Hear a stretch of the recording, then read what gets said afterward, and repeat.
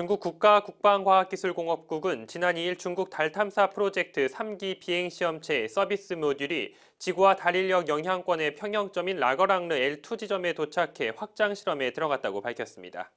10월 24일 비행시험체를 발사한 뒤 현재까지 달 탐사 제3기 재기환 비행실험은 여러 개의 중국 항천 기술 기록을 새로 달성했습니다. 달 탐사 3기 재기환 시험체는 서비스 모듈과 기환 비행체로 구성되어 있습니다. 재귀환 임무를 맡은 서비스 모듈은 귀환 비행체와 분리된 후 다시 달을 향해 비행했습니다. 그 후 달의 인력을 이용해 지구와 달 인력 영향권의 평형점에 도착했습니다. 달 뒷면에 위치한 이 평형점은 중요한 과학적인 근거를 제공할 것으로 기대됩니다. 이에 따라 달 탐사 3기 재귀환 시험도 수많은 도전에 직면하게 됐습니다. 로켓이 정확하게 궤도에 진입함에 따라 실험체가 처음으로 순조롭게 84만 킬로미터에 이르는 지구와 달 사이의 거리를 왕복했고 처음으로 부메랑 기환 기술을 활용했을 뿐만 아니라 현재는 확장 실험을 진행하고 있습니다.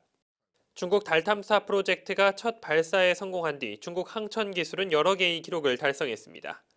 2007년 창어 1호가 중국 우주 비행체 가운데 처음으로 달 궤도를 선회하는 비행에 성공했습니다. 2010년 창어 2호를 성공적으로 발사함에 따라 중국은 처음으로 7m 해상도의 달 사진을 촬영할 수 있게 됐습니다. 2013년 창어 3호는 처음으로 달 표면 연 착륙에 성공했습니다. 올해 진행한 달 탐사 비행 시험체의 재기한 실험은 창어 5호가 더 많은 기록을 달성하는 토대를 마련해 줄 것으로 보입니다.